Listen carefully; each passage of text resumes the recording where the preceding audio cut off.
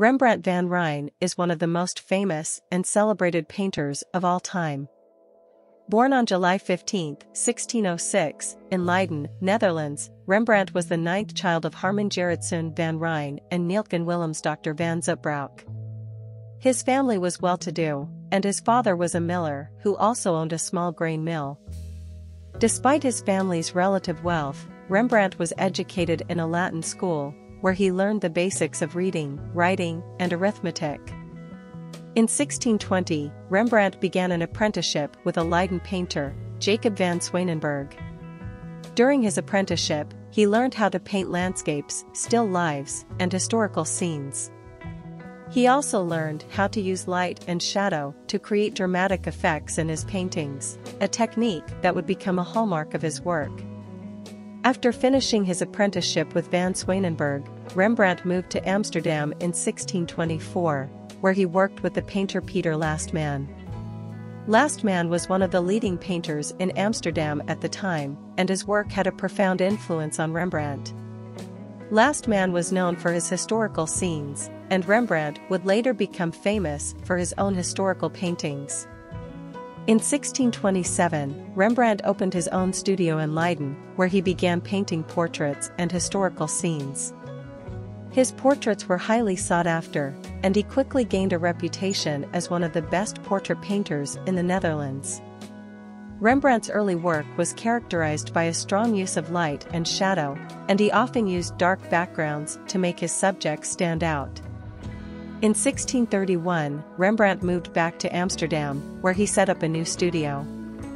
His reputation as a portrait painter continued to grow, and he was soon commissioned to paint portraits of many of the wealthiest and most influential people in Amsterdam.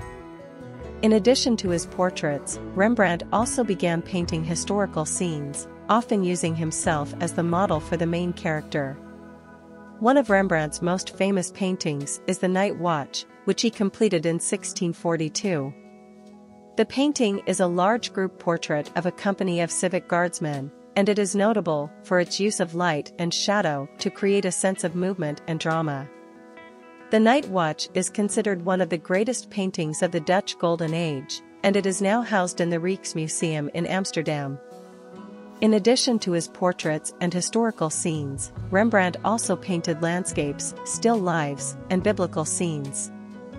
He was a master of many different styles and techniques, and his work continued to evolve throughout his life. One of his most famous biblical paintings is The Return of the Prodigal Son, which he completed in 1669. The painting shows a scene from the Bible in which a son who has squandered his inheritance returns home to his father, who welcomes him back with open arms. Despite his success as a painter, Rembrandt struggled with financial difficulties throughout his life. He lived beyond his means, and he was often in debt. In 1656, he was forced to declare bankruptcy, and many of his possessions were sold at auction. He was able to continue painting, however, and his later work is considered some of his finest.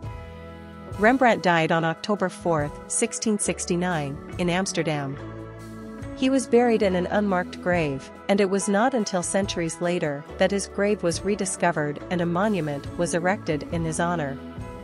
Today, Rembrandt is remembered as one of the greatest painters of all time, and his work continues to inspire.